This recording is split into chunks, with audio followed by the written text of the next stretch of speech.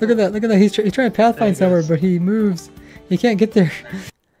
Hello there, Ray here, and today guys we'll be looking at all the tips and tricks that you can do in the latest 1.16 snapshot. This will be a continuation of the snapshot review video, so if you haven't seen that one already, it's linked below and that will go over the majority of the basics, which is new to the snapshot. We just finished a 7 hour live stream of us playing around on the snapshot server with you guys the viewers, and if you missed out, we do them every Wednesday and Friday, so make sure you subscribe as well as turn your notifications to get informed about those. I have to say this was a really crazy experience, we came across a lot of weird stuff, which I put into this nice little video for you guys. So make sure to like the video as well as share with other Minecrafters so they can learn about all these cool tricks which are coming out very soon. So we've just been doing a bunch of bartering with the piglins and we got a Soul Speed 3 book from them. Uh, they're also dropping iron boots that are enchanted, people are saying, with Soul Speed. So these are some of the type of boots that you can get from the piglins. Um, they are iron.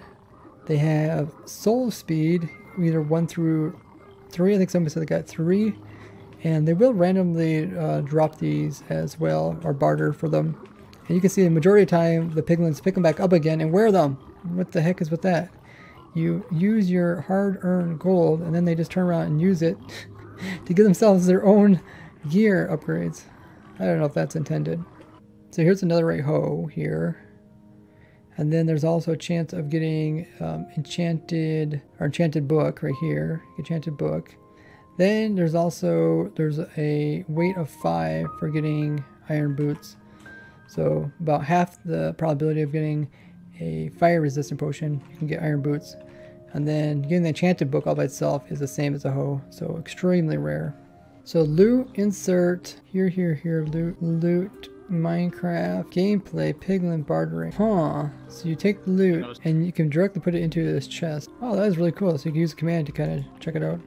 So we summon a piglin crossbow with low durability. Should break it. Yep, he broke it. Okay. Now, what they changed in this version is they can actually use bows. So we can give him a bow. Let's give one of our good bows. Here, have that. Can he actually shoot it? Oh, he doesn't. What happens if we let him go up to it? Oh, he, he, he punches with his bow in his hand. oh, that's funny. So you find the gold ore between Y level 128 all the way down to Y level 10. So you can actually find it way up in the bedrock, similar to quartz. Cheater Codes looked into the game uh, code and found location for it. It's also a bit less. So instead of having like packs of 14, which quartz can have, it can only go up to veins as high as 10. It's also about 30% more rare than quartz, so you won't find it as abundant. But definitely useful to go here if you need to get gold, uh, especially since you can smelt this down and trade with the piglins. You can do quite a bit in this dimension just with the gold alone. And of course UHC, you could definitely come here in Nether and get a lot of gold quite easily because you can see it on the huge amount of surface area that there is in another dimension. Okay, so you can't use a wooden pickaxe. Try can't use a stone either. But you can use the iron and above to mine gold. Very similar to gold like in overworld. So let's see which one is more blast resistant. So we got gold ore over here and another gold ore over there. Summon TNT. Okay, I made that kind of hole in it. Let's try that over here. You think this would be more weaker? Hmm. Yeah, I did make a slightly bigger hole. Summon. Yeah, a netherrack you can make really big holes in. So it's kind of in between the two. I'd say it's definitely more closer to normal gold ore. So we're putting eight layers of snow and see if any mobs will spawn here once. Make it peaceful. Make it hard again. Nope, mobs. Oh, well, I guess I can. they change it. So mobs can now spawn on top of eight layers of snow. Oh. That's something they changed. Okay, so they could do on top of soul sand, also eight layers of snow. Let's try seven layers of snow. Mobs usually spawn in seven layers of snow. Okay, so they don't spawn at seven layers. So we can push them. You can also push them with slime, and then they take off. They don't go that far. Must be the default. I wonder what would happen if we push the ones on ProtoTech, because I know they, I think they just keep flying until they hit something. So these are a little bit different than the ones they actually get from Withers. It will be kind of fun to do some experiments uh, with them once we update our Project Survival server. Shove it over here to this one. Shove back over there. nice. Oh! It blew up! Someone touches the block, it blows up. Nice, that's pretty cool. We've had quite a few ones on our projects that blew up. Like, I think you can pretty much the same thing we did uh, here, moving around. So we just built up a quick zero tick twisted vine um, farm. So we got vines growing up out of this. So if we remove this top piece, you can see that it gets updated very quickly, completely grow into a new whole section. So you can zero tick the new twisted vines. Uh, let's see if we can actually break this off as an item. We just put a piston onto this piece, which is also getting powered, and it's every so often the vine's able to grow past this piston and uh, break it off. And you can see it does drop the item when it's broken by piston, so you could make a farm using this. We went ahead and actually built a little farm using this. Uh, we just got a piston that pushes pieces over here, and we got a hopper, picks them up. So yeah, you can make a farm out of this, a zero tick farm. Or you can also make like a manual farm too with pistons, the flying machine. I guess it could be very similar to like my weeping vine farm, but that's pretty cool. I wonder if it could be used for a fuel source. So it looks like they cannot actually be used as fuel. Okay, we're gonna have a competition. See how fast this thing can reach top of the world. Yeah, let's see who can get to the top. I'm already there. 255, so at the top of the world. You can't go any higher than this. Okay, I got Weeping Vine up here. I'm gonna put it all the way down to the bottom. That is crazy. and then these are really nice because at any point you can like climb this. So let's say I'm climbing this and go up or let's see, can I also go down? They just naturally go down, okay. And then at any point you want to, you can place in a block. So you can hold shift on the edge, then place a block below you. There, and then you can kind of use that to scaffold off of, go other places. It doesn't interrupt the vines, like the vines are still here. And you can do the same thing uh, with the twisted vines. And then you can click like above you or below you, and place in a block, and then work off of that. Pretty cool. A lot better than scaffolding. so we're up here quite high. We're gonna try fall and place a vine at the same time. Kind of similar to like water and see if we don't die. Uh, let's try it. Nope. So let's make um, two tall and let's drop on top of them in survival. Yeah, so too tall saved me. So if you're really fast spam clicking, you can place two vines and prevent yourself from dying from fall. But I use a super fast uh, mouse. Back in the day, I used to use cobwebs. Um, when I would work like way up in the air before elytras were out, I would place cobwebs on the ground, and then if ever would fall, I would aim for the cobwebs and uh, land in them. But yeah, they also work. So just like the weeping vines, uh, nether vines actually burn. You can't like place fire on the side of them or anything. So yeah, they are like nether proof. Very cool to see that. The question is, can they be planted in lava? They can, but they get destroyed by just the fluids. I wonder if fluids will also um, like make them drop their items. So you break into survival, just one click instant break. Well, I guess sometimes it doesn't doesn't drop. Let's break this and see if it drops any items. Yes, okay, so water can also harvest them. So will shears make 100% drop? No. They still sometimes don't drop. Uh, the question is, are we limited to how high these vines can go? So I'm just gonna bone meal this one. It's the very bottom of the world. And let's go to the very, very top and see how far this thing went. I made a nice little hole guess, for it. My guess, no, it does not matter. Yeah, it literally looks like it went all the way from the very bottom of the world to the very top of the world. No problem. If you guys want to see if they will work with ender pearls, like will they hit up against it? Yes. Ender pearls hit against it. Snowballs hit That's against kind of it. useful.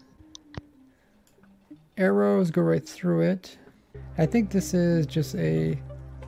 Yeah, this is just a ghost fire. I mean, yeah, you have a 30%, uh, a one-third chance to get item. Oh, really? Is that for both but type of vines? For the Weeping Vines. Weeping and probably Twisted? I haven't checked the Twisted yet. Twisting Vines. Yeah, same. Uh, but Fortune should work. Oh, Fortune works. So we got three vines there. Let's break one. Oh wow, fortune, yeah, we get extra vines. Okay. I guess eh, they still can have a chance of failing. But when they Yeah. do drop, then you can get extra. Huh, so you can just like keep placing these, just keep breaking with fortune, you can get more of them.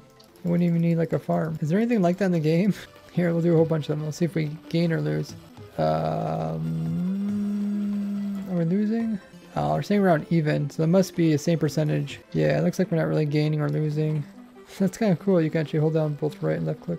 It's one of the few times that actually works. Okay, so I guess that's not a way to get more vines. So anything with a solid top block, like a trap door, you should be able to put vine on top of it, and you should also be able to bone meal it. But if you would update this, then it's gonna break off. Very similar to like the weeping vines. Yeah. You can even open it. That's funny. We put it sideways. Oh, okay. It pops off when you close it. So next up, we're testing the new Soul Speed 3 enchantment on boots and seeing how well it actually works. So can we put Feather Falling 4 on it? Yes. Uh, can Depth Strider be put with the Soul one? Soul Speed, yes. gonna- so you can have Soul you go. Speed plus Depth Strider. That should be pretty fast. So yeah, you can't put Depth Strider with Frostwalker. But you can put the new Soul Speed pretty much on any um, boot with whatever enchantment it has. Ready? Three, two, one, go. So it looks like it's the same, Don't matter if Pretty close, yeah. yeah, don't matter if you have Probably blue ice underneath or soul sand. Pretty much the same speed. Next up, we test soul sand versus normal blocks. You wanna go Dino? Oh wow. Yeah, I'm not sprinting.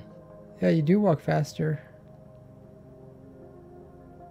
You can make slightly faster speedways than walking on normal blocks, but seems like ice is still faster. Of course, boats and ice would be faster. So the speed effect from the soul speed enchantment applies both to soul sand as well as soul soil. You can see if I hop between the two of these, it's the same speed. Yeah, we have Soul Speed, a Depth Strider 3, Soul Speed 3, we got Soul Sand on the bottom at 2 high of water. And if we swim, we get Dolphin's Grace. And then whenever we push forward, we go extremely fast. And yeah, pretty much takes all the way to the opposite side very quickly. But it seems like you only get Dolphin's Grace when you're in swim mode and you're so close to the dolphin. Otherwise, once you get it, you can go extremely fast. Swimming's also fast. You can't get the stuff from the Oh, chanting because you table. only get it from bartering, yeah. Yeah. Right. So you most likely can't get this from mob drops. You only have to get it from bartering and then putting it on your armor. So now I have speed 2 plus I'm going to get Dolphin's Grace. With having the extra speed 2, it looks like it does help. You can either swim or just walk. It's quite fast. No depth strider.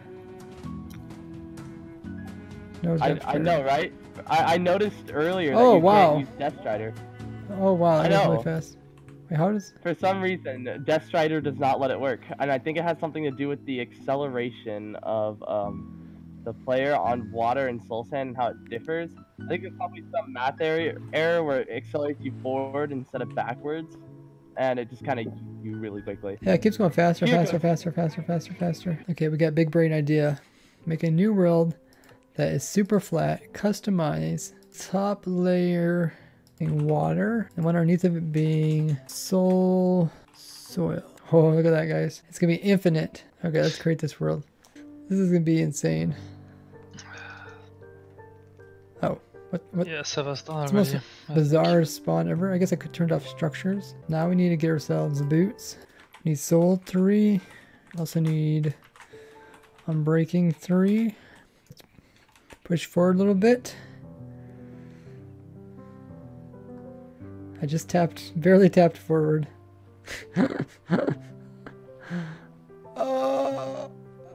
my goodness. Oh, I literally lagged out so bad that I couldn't move forward.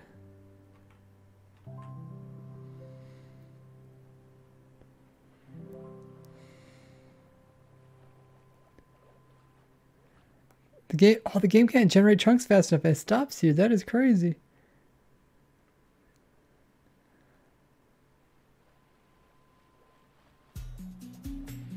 Yeah, it seems like as soon as I reach ungenerated chunks, it just stops it. Give myself Dolphin's Grace. So normally you get Dolphin's Grace 1 in survival, so I'm going to do that for a long period of time. Oh my goodness, yeah. That really speeds it up. It goes so fast the worlds cannot generate. That would definitely crash your servers. Matter of no time I'd reach 200 blocks. Oh, yeah, dude, I can even go sideways. I can even go backwards. I guess with the chunks already generated. Does that help? Still going to unloaded chunks.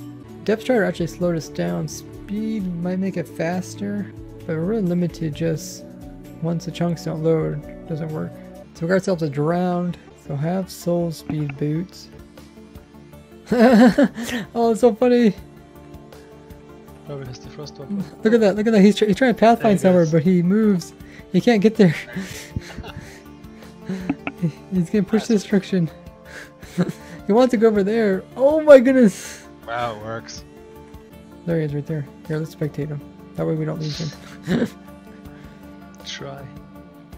So he just starts going one direction. He goes faster, faster, faster. Until he hits a wall. And then he- he just like, oh, try to go down our way. Whenever he starts walking, it just goes so fast you can't change it. Oh, that is so hilarious. The giants are so funny to watch. What? You can easily see the giants when they move around.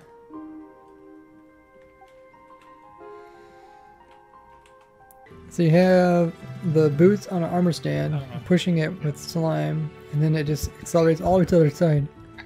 Yeah. That'd be a good way to like load something that's pretty far away, Oh, without yeah. actually having to use redstone dust or other redstone methods.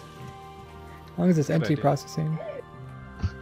And you can send them right through each other, I guess, too. You can also send it diagonally too, I bet, if you can somehow figure out how to push them Oh, that way. right. Now, when it comes to redstone changes, I know a lot of people were afraid of them removing some of the main components that we use day to day that aren't necessarily working as they were intended. Now, one of the Mojang developers, Slice actually came out with a message saying that they aren't actually going to remove anything like zero ticking or like quasi connectivity.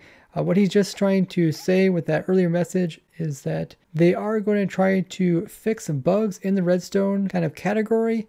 And when they fix stuff, they will accidentally change other stuff. So anything that may seem to be broken or changed, they didn't do it intentionally. They're just trying to fix some underlining problems with redstone. So they're pretty much saying don't get too worked up over it and kind of take each change one by one. So hopefully that will answer some of the questions you guys had about the redstone reworking. Oh, and those crazy flying machines you see in the distance? Yeah, that'll be in a future video. So we want to test to see what happens if you take one of these uh, piglins that are riding baby hoglins and you put them in the overworld and they convert over into a zombified piglin. Do they stay on top of the baby pig or do they um, get kicked off of it? So what I'm going to do is I'm going to fill this in with end portal frames and then they're going to be taken to the overworld. Wait, do they not get teleported? I guess they really don't get teleported normally. They don't have a have a little brief moment to actually write them. Okay, so some of them are writing. Let's release them. Oh, it looks like it just got kicked off. So some of you guys asked in the comments, is it possible to kind of break down the new netherite armor or gear to get the ingots or the scraps? You can't smelt down any of the netherite hoes or any of the netherite tools at all. So you can't actually convert this back into a netherite ingot. Had a lot of fun testing around the newest snapshot with you guys and just messing around, seeing what new kind of type of farms we can make, what kind of new kind of games and fun stuff we can do with the newest changes to the snapshot. If you guys have any more questions, make sure to ask them down in the comments and hopefully I'll answer them there or maybe answer them in a future video. And don't forget guys, go ahead and subscribe as well as like the video. I really enjoy doing these snapshots with you guys. And if you'd like to take part in one of these, we do them every Wednesday and, and I'll notify you guys of when the stream starts via like my YouTube notifications, Twitter notifications, Twitch, as well as on the ProtoTech Community Discord. So make sure you guys follow me there. That way you guys don't miss out on all the fun we have here. I'd like to thank you guys for watching, and I'll see you guys in the next one. Bye-bye.